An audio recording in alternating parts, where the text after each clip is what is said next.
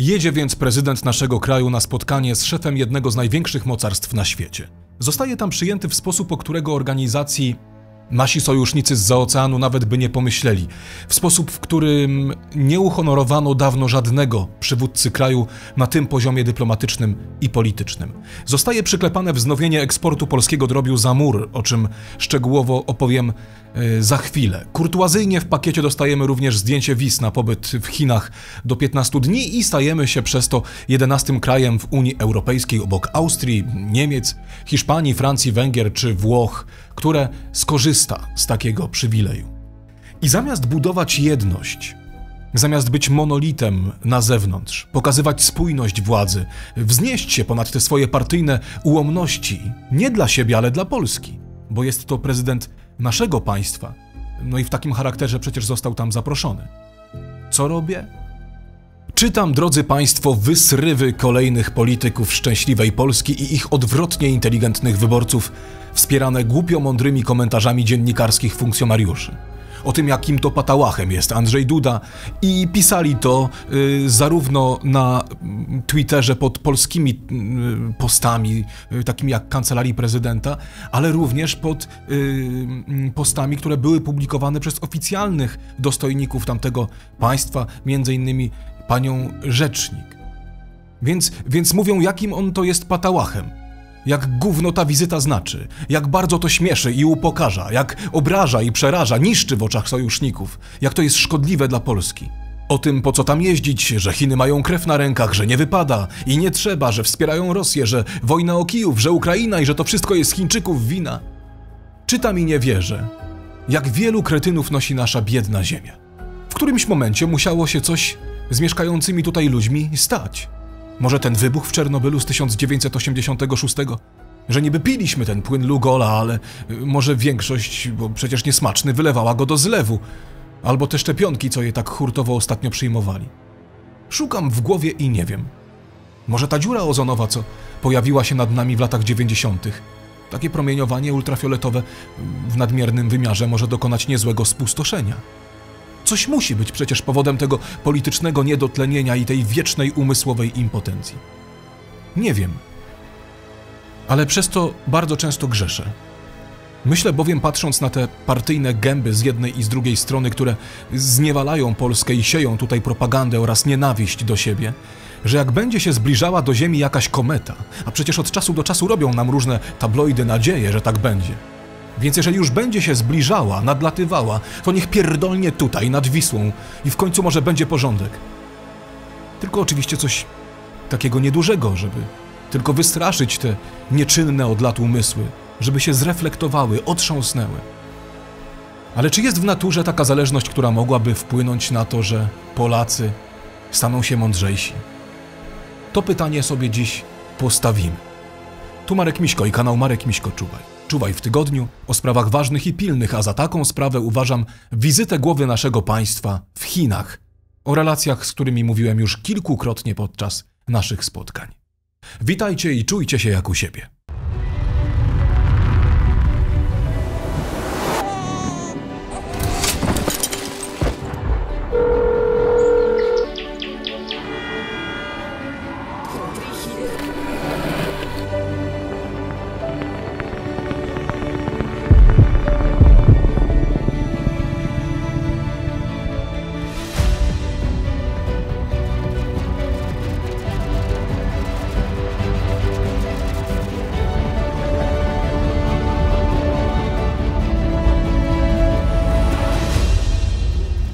Internet jest arcyciekawą przestrzenią, a błogosławieństwem tego miejsca poza jego wieloma przekleństwami jest to, że tworzenie w nim treści nie ma narzuconego jeszcze kagańca nadmiernej poprawności. Oczywiście platformy, na których twórcy publikują, mają swoje ograniczenia i często niesprawiedliwe wymagania, no ale w sieci autor ma wolność, której nie gwarantuje mu żadne medium, opowiedziałbym, zorganizowanym charakterze. Widz ma prawo tu przyjść i czerpać pełnymi garściami, ale ma też prawo wyjść w każdej chwili. Każdy twórca może też przyjmować miłe słowa i zachwyty nad tym, co robi, no, co w przypadku naszego czuwaja zdarza się nader często i co wprowadza mnie również nierzadko w zakłopotanie. Ale ma też prawo oraz obowiązek przyjąć na siebie ciosy konstruktywnej krytyki. Chciałbym jednak wyraźnie zaznaczyć, że chociaż za twórcą idzie też odpowiedzialność, którą, gdy osiąga pewien poziom zasięgów, musi nieść i powinien się z nią liczyć, to nie ma on, więc ja nie mam obowiązku znosić pełnej obelg niemerytorycznej krytyki płynącej w stu procentach od ludzi, którzy piszą anonimowymi klawiaturami. Przyjąłem więc strategię, że przez pewien czas pozwalam im wyrzucać z siebie to, co mają do powiedzenia.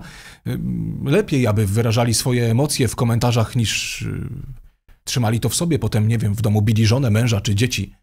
A następnie takich ludzi blokuję. Żyjemy w czasach, w których ukrywanie swojej tożsamości miast podstawowej funkcji chroniącej wizerunek bądź skrywanie jakiejś swojej działalności społecznej czy artystycznej pod pseudonimem stało się również domeną ludzi małych, podłych, często o sekciarskim zacietrzewieniu.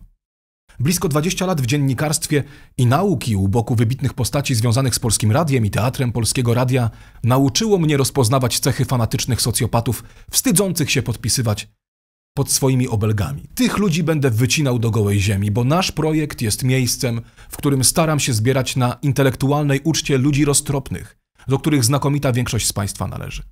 Jednak jako gospodarzowi nie wypada mi znosić przy naszym wspólnym stole osób nieproszonych, które mm, nie wyniosły z domu i szkoły odpowiedniej kindersztuby. Jakkolwiek buńczucznie by to nie zabrzmiało, budujemy tutaj, proszę Państwa, intelektualną siłę konserwatywnej części narodu, a nie przestrzeń dla ekspozycji intelektualnych ułomności anonimowych autorów. A tego miejsca by nie było, gdyby nie wsparcie naszych mecenasów, którym jak zwykle za ich zaangażowanie kłaniam się w pas. Bez Was czuwaja by po prostu nie było. Jeżeli ktoś z Państwa byłby natomiast zainteresowany dołączeniem do zaszczytnego grona mecenasów i ma życzenie wynagrodzić mi wykonywaną tutaj pracę, no ale przede wszystkim wierzy w to, że to co wspólnie tutaj robimy ma sens i warte jest kontynuowania, zapraszam do opisu filmu i pierwszego komentarza. Możecie postawić nam kawę poprzez serwis Buy Coffee lub przyłączyć się do zrzutki. Są tam również inne metody wsparcia. No to co? Zaczynamy.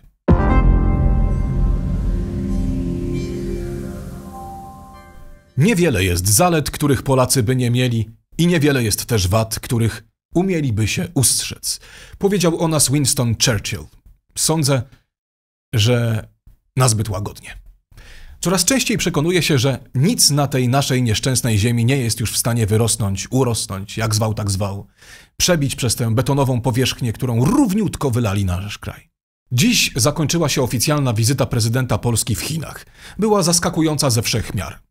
Prezydent niewielkiego kraju, uważanego za największego sojusznika Stanów Zjednoczonych, którego funkcja jest w zasadzie wyłącznie e, reprezentacyjną, o czym przecież Chińczycy wiedzą, jest przyjmowany przez przywódcę mocarstwa w taki oto sposób. Wiadomości głównego kanału chińskiej telewizji tę relację nadały pierwszego dnia wizyty na drugim miejscu.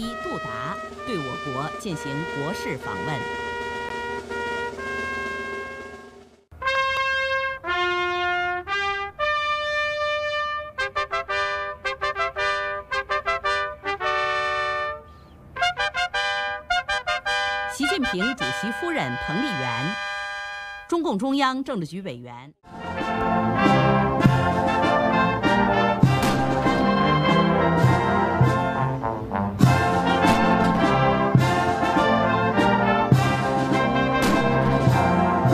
军乐团奏郭中两国国歌，鸣礼炮二十一响。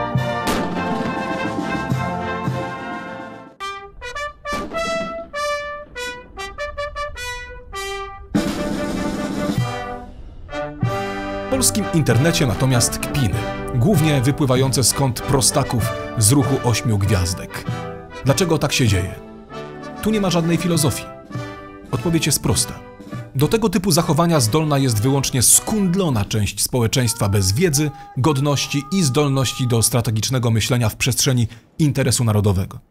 Dla nich choćby Polska miała zyskać setki miliardów złotych na wymianie handlowej z Chinami, choćby miała zyskać bezpieczeństwo, zawsze ważniejszy będzie głos partyjnego przywódcy niż racjonalne podejście do sprawy. Oczywiście, gdyby ich przywódca Donald Tusk wyjechał do Chin i załatwił coś podobnego mm, lub znacznie większego, to wszystko byłoby wspaniałe. Te wszystkie ich argumenty, którymi teraz się posługują przeciwko prezydentowi własnego kraju, nie miałyby zastosowania, bo musiałby to być ich człowiek. Ale jeżeli robi to ktoś z politycznej yy, barykady, tej z drugiej strony, ten z drugiej strony, no to już jest źle. Ci wszyscy ludzie po prostu świetnie by się sprawdzili jako mieszkańcy Korei Północnej. Byłoby im tam wspaniale, tak sądzę. Jest partia, jest przywódca, można nawet wznosić modły i nikt się nie będzie śmiał.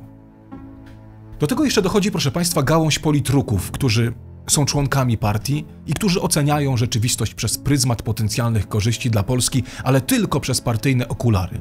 Bo przecież nie powiemy jednego dobrego słowa o prezydencie własnego kraju, bo jesteśmy z innej partii. Mieliśmy zresztą dzisiaj tego przykład, kiedy poseł Matysiak, yy, posłanka, ona by tak raczej wolała mówić, ale jest posłem, z partii Razem, założyli razem z yy, posłem Chorałą z Prawa i Sprawiedliwości yy, stowarzyszenie, które ma na celu wspólne działanie ponad politycznymi podziałami, yy, aby powstało w Polsce duże lotnisko nazywane CPK, teraz chyba będzie już jakaś inna tego nazwa, żeby rozwijały się drogi, żeby rozwijały się koleje, żeby można było inwestować w armię. No, piękna inicjatywa. I już na panią poseł Matysiak spadają gromy od kolegów i koleżanek e, ze swojego stronnictwa politycznego.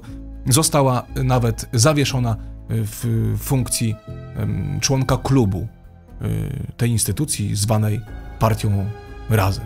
Ci ludzie po prostu są betonem nie do przebicia i dlatego ich miejsce zawsze będzie pod progiem wyborczym. Jest też ostatnia część. To są agenci obcych państw działający na odcinku destabilizacji społecznej, którzy, chociaż mając do stymulowania tak wielką grupę ludzi w polskim internecie, w moim przekonaniu nudzą się bo tym kretynom wystarczy tylko podrzucić hasło jebać PiS i jebać Platformę i nic więcej nie trzeba robić, oni się sami zabiją. To nie jest jednak tylko opowieść o reakcjach przypadkowych internetowych kretynów, ale o całej zorganizowanej akcji, która za każdym razem, gdy dzieje się coś dobrego lub właściwego w relacjach pomiędzy Polską a Chinami, wychodzą ze swoich jam i budują przekaz społecznego niezadowolenia. Po co to robią? Bo współczesna polityka czerpie wiedzę, którą później zamienia w polityczne decyzje również na podstawie ruchu w internecie. Jeżeli jeden czy drugi polityk otrzyma nagle 2 do 3 tysięcy nieprzychylnych komentarzy pod swoim postem, uwierzcie, że zacznie wbrew swoim ideom, wbrew swoim e, założeniom politycznym wycofywać się z danego pomysłu. Byłem świadkiem takich sytuacji nader często i tak samo często, gdy proszono mnie o radę, sugerowałem twarde stanie na swoim stanowisku, a nie wycofywanie się. Wielu polityków jednak ma to już we krwi i nie chce się e, swoim elektoratom i w ogóle internautom w jakiś sposób narazić. Za chwilę w logiczny sposób wyjaśnię, komu zależy na tym, aby Polska nie prowadziła samodzielnej polityki z Chinami, kto ma w tym interes i na czym ten interes polega. A ja mówię o tych danych przynajmniej od 2021 roku, gdy po raz pierwszy przygotowany przeze mnie raport na zlecenie Instytutu Gospodarki Rolnej, raport, który dotyczył m.in. relacji gospodarczych z Chinami w dziedzinie produkcji rolno-spożywczej, a to są miliardy, setki miliardów. Dlatego są tak bardzo ważne. Ten raport trafił na biurko premiera Morawieckiego i dalej nic się z nim nie stało, bo oni zawsze wiedzieli lepiej. Zresztą nie tylko ten jeden raport, takich raportów było znacznie więcej nigdy nie chcieli korzystać z usług kogoś, kto ma wiedzę albo po prostu napracował się, żeby coś wykonać. Teraz prosty przekaz na temat tego, co ja uważam w tej kwestii. Myślę, że powinniśmy cechować się mniejszym sentymentalizmem i nie odwoływać się do nieistniejących w polityce zasad, a do działania przykładać więcej chłodnej kalkulacji i pragmatyzmu. Życzę nam wszystkim, abyśmy mieli odwagę i okazywali ją, gdy trzeba takową okazać i nie bali się bo wiemy, że strach paraliżuje nasze działania.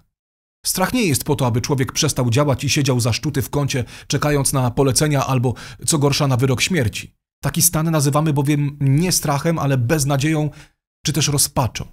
Rozpacz i beznadzieja tym różnią się od strachu, że te dwie pierwsze są stronami definitywnymi i prowadzą jedynie do śmierci. Strach natomiast jest dla umysłu tym, czym ból dla ciała, czyli sygnałem, że coś się dzieje, że natychmiast trzeba działać. Strach nie jest po to, aby mu ulegać, lecz po to, aby zmusić ciało do wysiłku.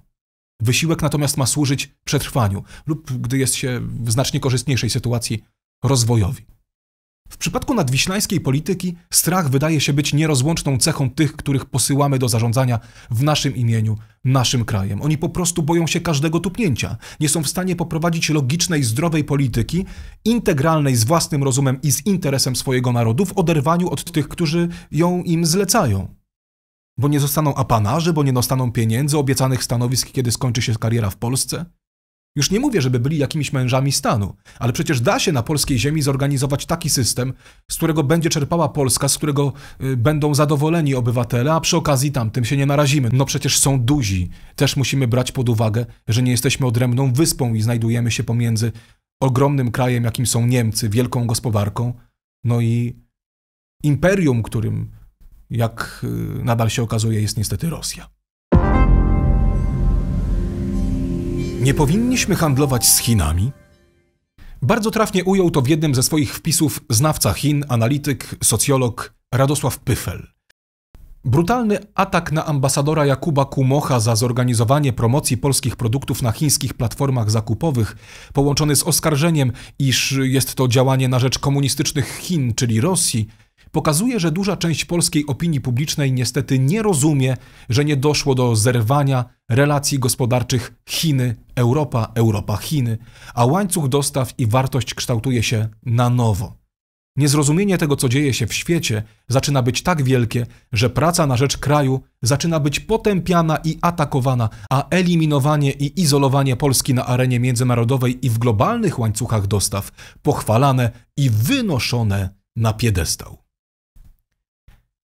Czysta prawda.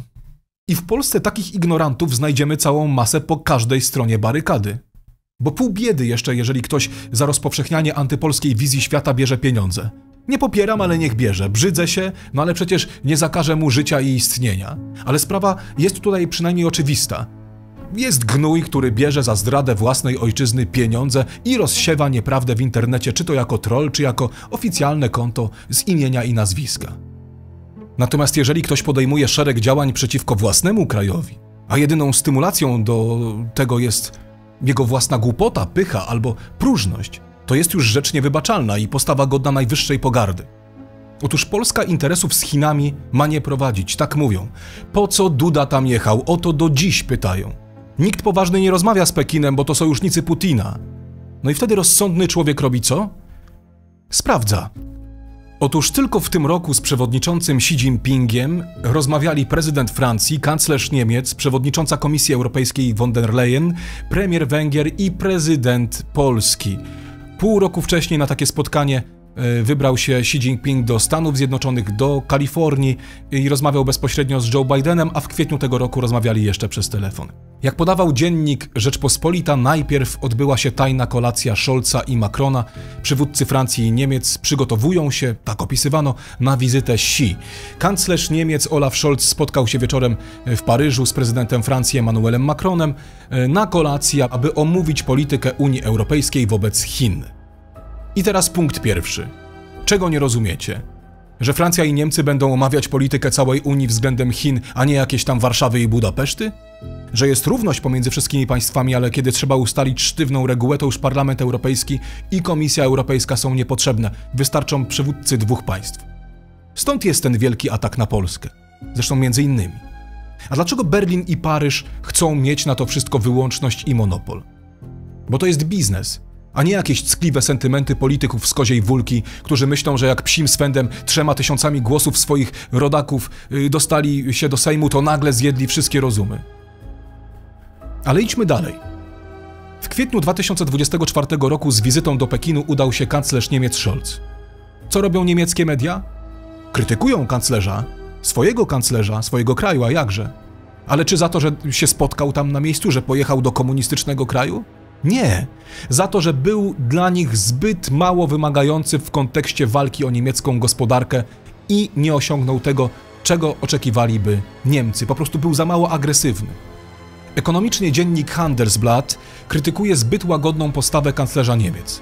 Scholz powtarza błędy swojej poprzedniczki Angeli Merkel, zamiast osiągnąć coś dla całej niemieckiej gospodarki i Niemiec, ona pozwoliła sobie na zbyt duże kierowanie się partykularnymi interesami wielkich korporacji. Zdaniem dziennika teraz byłby odpowiedni czas, aby zmierzyć się z chińskim przywództwem.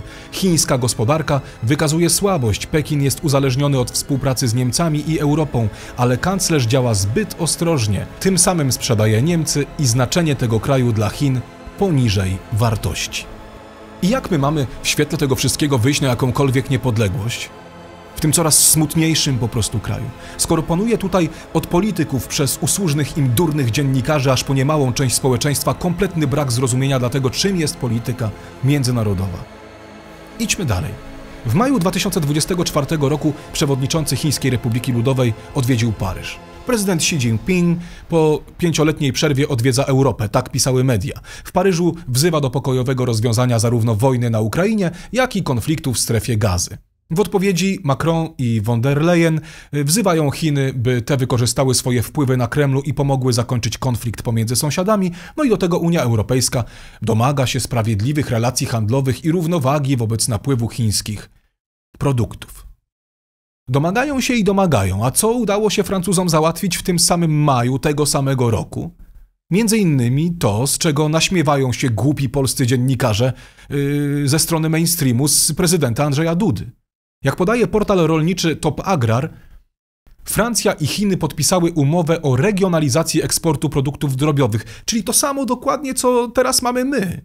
Poinformowało o tym francuskie Ministerstwo Rolnictwa właśnie w maju, czyli właśnie w miesiącu, w którym odbyło się spotkanie Macron-Xi Jinping. Zgodnie z tym porozumieniem eksport z obszarów Francji wolnych od chorób może być kontynuowany nawet w przypadku wybuchu wysoce patogennej grypy ptaków. Według informacji ministerstwa, Francja, będąc drugim krajem po Stanach Zjednoczonych, który y, zawarł takie porozumienie z Chinami, demonstruje ścisłą współpracę organów weterynaryjnych oraz zaufanie do francuskiego systemu opieki zdrowotnej dla zwierząt itd.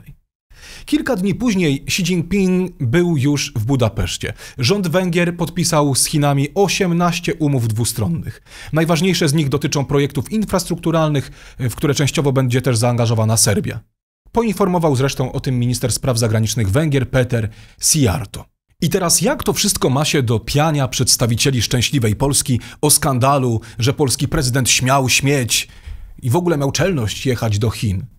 Czy też lecieć? Zobaczcie, jak wyglądała wymiana handlowa pomiędzy Unią Europejską a Chinami w roku 2021.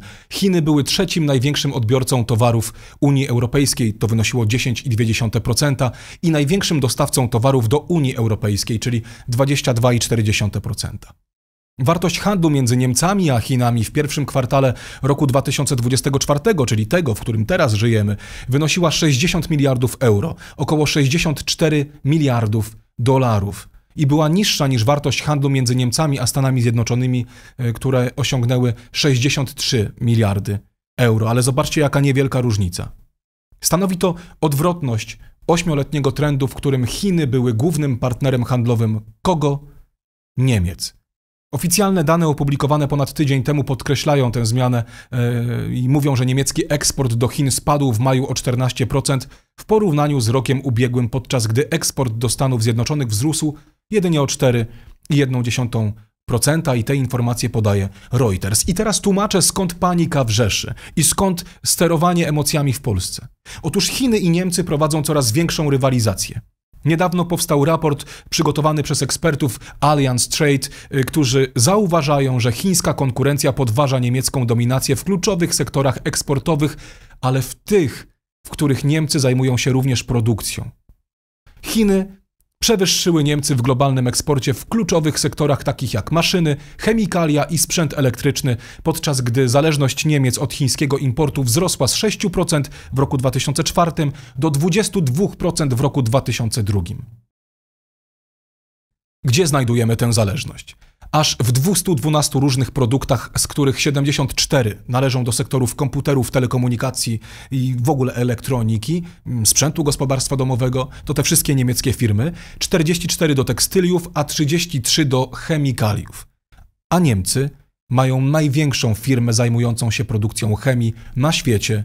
Ta firma nazywa się BASF. Co istotne, udział Chin w światowym eksporcie przewyższa udział Niemiec w trzech z czterech kluczowych sektorów: maszyn, urządzeń, chemikaliów oraz sektorów związanych e, z elektroniką, telekomunikacją i komputerami, sprzętem gospodarstwa domowego. Niemcy nadal dominują jedynie w segmencie producentów i dostawców samochodów oraz sprzętu transportowego, chociaż ich przewaga nieco zmalała w ostatnich latach. Eksperci z Allianz Trade ostrzegają, że niemieckie firmy specjalizujące się w produkcji maszyn, pojazdów z silnikami spalinowymi i specjalistycznych chemikaliów stoją przed dużą konkurencją ze strony chińskich przedsiębiorstw, które korzystają z przewagi cenowej i politycznego wsparcia Pekinu. Jeżeli Niemcy utrzymują się w dużej mierze z produkcji i sprzedaży samochodów, e, produkcji i sprzedaży chemii, i teraz pojawia się państwo, które wkracza na ich rynek i ze względu na niższe koszty produkcji ten rynek chce zagarnąć, to Niemcy musiały podjąć jakąś decyzję. Muszą doprowadzić do sytuacji, w której ten bilans będzie dla nich znacznie korzystniejszy. Na przykład eksport niemieckich samochodów do Chin wzrósł o 38% w ciągu ostatnich 10 lat. Ale uwaga, w ciągu ostatnich dwóch lat zanotował gwałtowny spadek o 10%. A wiecie dlaczego spadł? Już tłumaczę. 5G i Ameryka. Wszystko zaczęło się od rosnącej pozycji Chin i BRICS-u. Amerykanie dostrzegali, że nie są w stanie nadzorować już wszystkich miejsc na świecie. Mówię to w wielkim skrócie. Z jednej strony mieli więc Bliski Wschód, z drugiej strony Ocean Indyjski, Singapur, Cieśnina Malaka e, i dalej Bab Mandeb i przy wyjściu do kanału Sueskiego cała ta droga. No i oczywiście jest Europa. Żeby zająć się skutecznie przepływem towarów, Stany musiały ustanowić w Europie swojego policjanta, którym miały być Niemcy. Stąd baza Rammstein, stąd yy, funkcjonowanie tam na stałe, nie jak u nas rotacyjnie, amerykańskich jednostek wojskowych. Berlin, wykonując gest przyjaźni wobec Waszyngtonu, zablokował chińskim firmom branie udziału w przetargach związanych z budową infrastruktury 5G na terenie Rzeszy. Chiński ambasador w Niemczech y, Wu Ken zagroził odwetem, jeżeli rząd w Berlinie zdecyduje się wykluczyć firmę Huawei z budowy niemieckiej infrastruktury 5G i przypominał przy tym, że firmy z RFN sprzedają w Chińskiej Republice Ludowej miliony samochodów. I pisała zresztą o tym w roku 2019 agencja Bloomberg, ale na tym się nie zakończyło. Jak informował w kwietniu tego roku portal Money, Okno możliwości dla niemieckiej produkcji zaczęło się zawężać, ponieważ stosunki gospodarcze między Niemcami a Chinami zmieniają się z komplementarności na substytucję, nawet w Unii Europejskiej. Niemiecki eksport maszyn do krajów BRICS, z wyłączeniem Chin i krajów Azji Południowej, spadł w ciągu trzech lat odpowiednio o 23% i 14% w porównaniu z rokiem 2019. W tym samym czasie chiński eksport maszyn do tych regionów odnotował znaczny wzrost o 89% do krajów BRICS-u i 31% do krajów Azji Południowej. Więc kto na tym traci? Niemcy. Ambasador Chin w Berlinie ostrzegał w roku 2019 i na ostrzeżeniach, jak widać, się nie zakończyło. Niemcy zaczęły zwracać się w kierunku Stanów Zjednoczonych, ponieważ w Chinach nie było już dla nich miejsc. Została jednak nisza, którą moglibyśmy jako Polacy w jakiś delikatny sposób wypełnić, bo przecież nie jesteśmy tak wielką gospodarką jak Niemcy, ale mamy na przykład silne rolnictwo i chcielibyśmy wkroczyć właśnie na ten teren, wypełnić to wszystko. Ale jak się okazuje, Potrzebujemy na to zgody naszych panów z Zaodry. Niemcy nie mogą jednak prowadzić brutalnej gry, bo potrzebują rosyjskiego gazu, aby móc napędzać nim swoje fabryki. Oficjalnie dostać go przecież nie mogą. Rura, która sunie po Bałtyku, tak się składa, że ma małą dziurkę i niestety nie jest w stanie nic przesyłać. Ta, która idzie ze wschodu na zachód, zakręcona, ale i na to znalazło się rozwiązanie. Sygnalizowałem to w raporcie, który przygotowałem dla premiera w roku 2021. Bo chociaż niektóre niemieckie firmy zraziły się do chińskiego rynku, to duże korporacje nadal czerpią z obecności na chińskiej ziemi pełnymi garściami. W latach 2010-2022 niemieckie inwestycje bezpośrednie w Chinach wzrosły bowiem pięciokrotnie, zwłaszcza w sektorze motoryzacyjnym i czterokrotnie w sektorze chemicznym. Bo chociaż niektóre niemieckie firmy zraziły się do chińskiego rynku, to duże korporacje nadal czerpią z obecności na chińskiej ziemi pełnymi garściami. W latach 2010-2022 niemieckie inwestycje bezpośrednie w Chinach wzrosły bowiem pięciokrotnie, zwłaszcza w sektorze motoryzacyjnym, i czterokrotnie w sektorze chemicznym. I to pod koniec 2022 roku samolot wypełniony kilkudziesięcioosobową niemiecką delegacją złożoną z dyplomatów gospodarczych, dowodzoną przez kanclerza Scholza, wylądował w Pekinie nie po to, aby rozmawiać o sytuacji na Tajwanie, jak nam wtedy wmawiano, ale aby negocjować warunki współpracy gospodarczej w postpandemicznej Europie pozbawionej swobodnego dostępu do surowców i paliw kopalnych. I najważniejszą osobą na pokładzie, jak rzekłem, e, tego rządowego Airbusa A350-900 nie był więc, jak mogłoby się zdawać, szef ówczesnego niemieckiego rządu, ale 62-letni dr Martin Brandmüller, prezes chemicznego giganta niemieckiej spółki BASF, która od lat sprawuje niepodzielną władzę w swojej dziedzinie i to na całym świecie. Analitycy banku Goldman Sachs y, zasygnalizowali pod koniec ubiegłego roku, że upadek niemieckiego przemysłu chemicznego w niespełna trzy tygodnie doprowadziłby do zerwania łańcuchów dostaw w całej Europie. Po co więc Brandmüller leciał do Chin? Aby omówić szczegóły otwarcia nowej fabryki polietylenu. BASF rozpoczął budowę fabryki polietylenu w zakładzie Verbund w Chenzjiang, nowy zakład o wydajności 500 tysięcy ton metrycznych polietylenu rocznie ma zostać uruchomiony w roku 2025. Dlaczego Niemcy zdecydowali się na budowę fabryki akurat w Chinach, a nie w którymś z państw europejskich? Chociażby dlatego, żeby wzmocnić gospodarczo kraje wspólnoty. Chyba Niemcom powinno zależeć na silnej wspólnocie. Przecież to jest główny argument dla pomysłu federalizacji Unii, aby stała się równym partnerem gospodarczym w koncercie mocarstw, a nie zgrają indywidualistycznych państw, które realizują własny interes. Zapytam nieśmiało, czy może chodzi o to, że tam jest tańszy gaz, który płynie z Rosji i jest akurat wytwarzany na tamtym terytorium, a ten gaz jest niezbędny do wytwarzania polietylenu. A polietylen jest jednym z najczęściej stosowanych tworzyw sztucznych na świecie, a jego produkcja opiera się na polimeryzacji etylenu C2H4. Etylen jest gazem, który może być otrzymywany z różnych źródeł, z ropy naftowej, z gazu ziemnego, Chiny są jednym z największych importerów gazu ziemnego na świecie, a ich głównym dostawcą jest Rosja. I tak się dba o interesy swojego kraju. Znam tylko dwa typy Polaków, powiedział kiedyś car Mikołaj I. Tych, którzy się zbuntowali przeciwko mnie i tych, którzy pozostali mi wierni. Jednych nienawidzę, drugimi gardzę. Warto, aby zarówno i te berlińskie, jak i moskiewskie Nowojorskie czy izraelskie pieski pamiętały, że w takich relacjach są tylko dwie możliwości: wierność obcym lub bunt przeciwko nim. Obie są przez wrogów skazane na pogardę. Stąd wniosek, że trzeba działać w sposób zgodny jedynie z własnym narodowym interesem.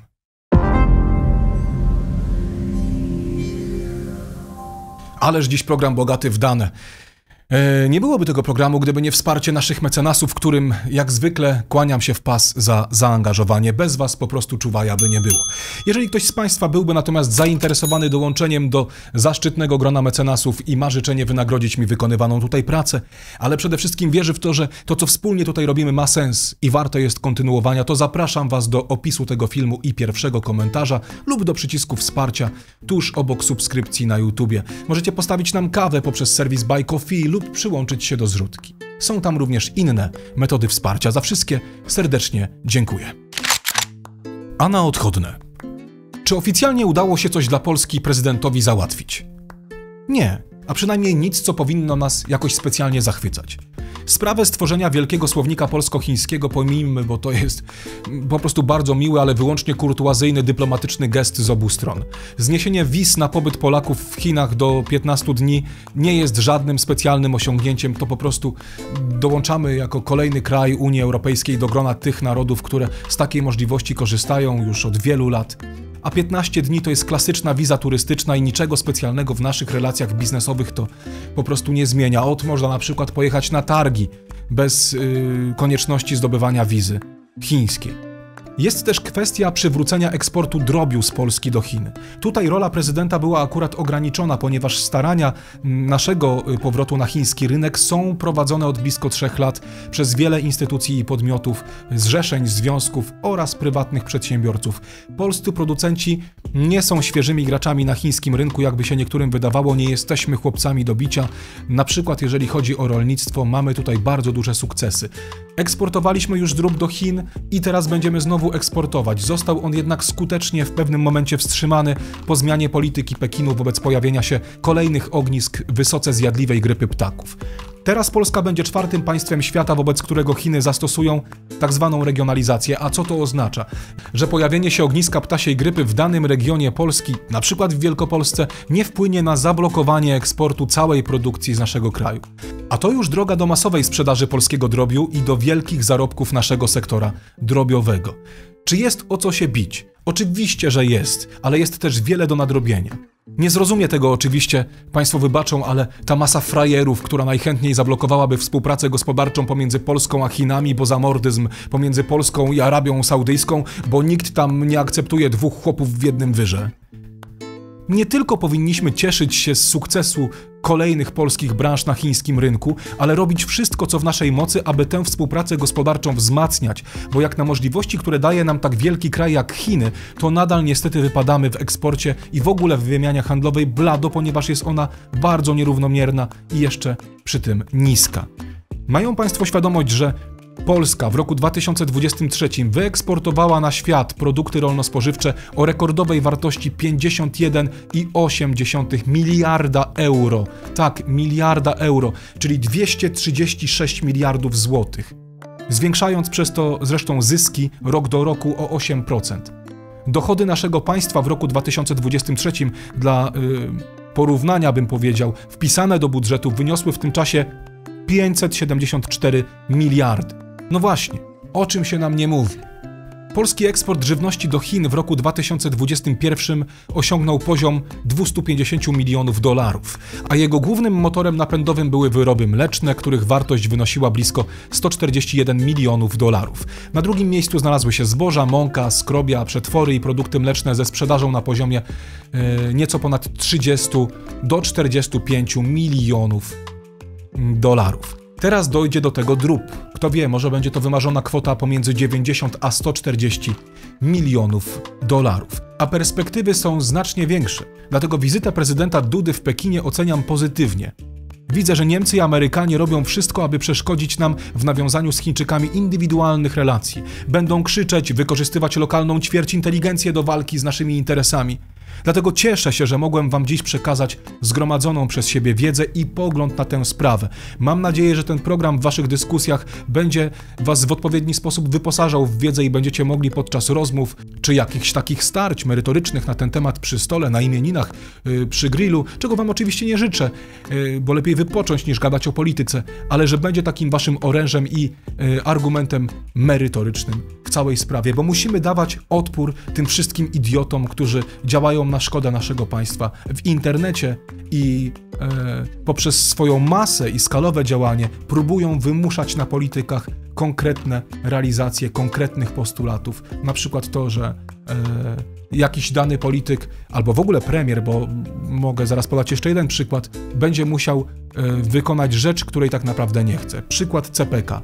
Gdyby nie ogromna ingerencja mediów, gdyby głównie nie debata w kanale Zero, gdyby nie ten wielki szturm Polaków, różnych organizacji, między innymi Młodzieży Wszechpolskiej, ale też wielu, wielu, wielu innych, które przyłączyły się do tego apelu i zaczęły wymagać od władzy, żeby CPK powstało, w co szczerze ja mimo tych zapowiedzi oczywiście nie wierzę, że powstanie, Premier musiał zabrać głos i powiedzieć tak, CPK będzie.